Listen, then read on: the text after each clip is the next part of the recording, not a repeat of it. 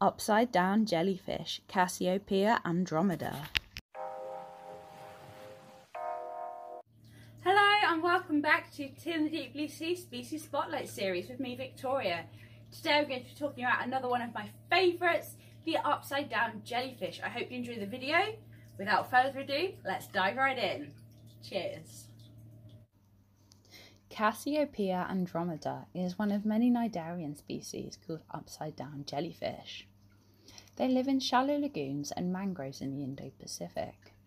They are often mistaken for sea anemones as they have their bell facing downwards and their mouths facing upwards. They spend a lot of time on the sea floor, but can also move by pulsing their bell, although this can be quite rare to see. Like with corals, the upside down jellyfish has a symbiotic relationship with zooxanthellae that live in its oral arms. The algae are provided with shelter, and in return, the zooxanthellae provide the jellyfish with up to 90% of its nutritional needs. The other 10% comes from feeding on zooplankton. The zooxanthellae is photosynthetic, so the jellyfish must stay in shallow water for the sunlight to be able to reach the algae. The jellyfish, using its stinging cells and nematocysts to capture zooplankton, which are located in their oral arms, and they release a mucus. This is then consumed by mouths located on their oral arms. Unlike most jellyfish that have one central mouth, the upside down jellyfish has multiple smaller mouths.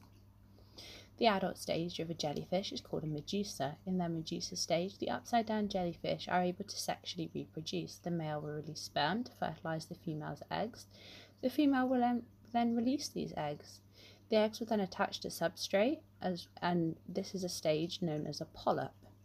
In polyp stage, they can reproduce asexually by strobilation. This is the budding medusa stage from a polyp, and multiple medusae can come from a single polyp. It is uncertain how long upside down jellyfish live in the wild, but in captivity they can live for around four years. They have not been evaluated for the IUCN Red List.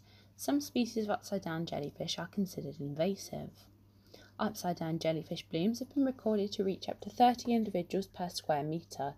This can affect the surrounding environment by decreasing the oxygen content of the water and shifting the structure of the food chain by outcompeting other species and consuming a disproportionate number of zooplankton. They can sting humans, with the reactions being recorded as mild to severe. They can grow to around 30 centimetres, have no brain, eyes, or heart. They are a popular snack for things such as the ocean sunfish, mola mola, and the leatherback sea turtle.